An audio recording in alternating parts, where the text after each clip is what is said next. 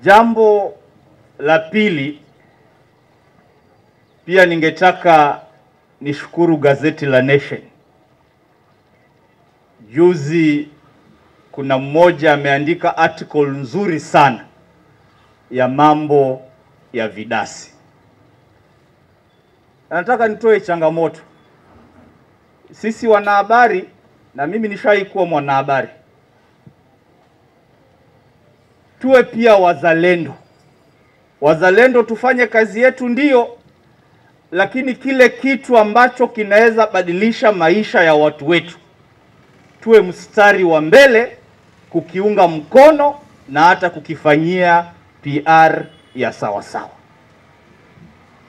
Nataka nikushukuru Kimari pia, najua kuna kazi nzuri umefanya na wanahabari wengine ambao wako hapa.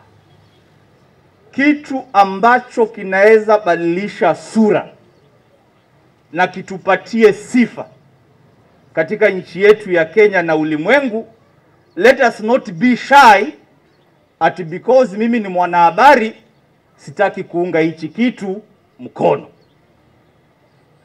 na tujiondoe kwa ukora kama ule ulikuwa unafanywa na Simiyu wa Citizen. Anaenda na keti na wakora, anapewa pesa, alafu anakusanya watu ati wanafanya interview kukashifu mambo ya uongo. Kukashifu ni sawa, lakini kashifu with facts, sio kwenda kupewa pesa kidogo kwa sababu unaunga mwanasiasa fulani mkono, alafu unataka kuharibia kila kila mtu. Waziri Laban, heko na pongezi, you took charge and Simiyu, fanya kazi yako kiwazi. Wacha mambo ya kuhongwa na kuandika stori za uongo. We have lived peacefully here.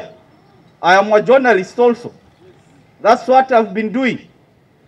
Lakini sijaona hawa wakiandika maneno au kuonyesha vitu kwa runinga ambazo ni za uongo, ni za uongo. What am I say?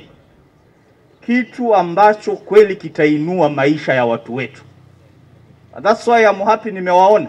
Hii kidasi ikishika soko vizuri, maisha ya mama zetu itaenda kufanya nini? Kubadilika. Watapeleka watoto wao shule, ukweli au uongo? Watasimamia nyumba zao.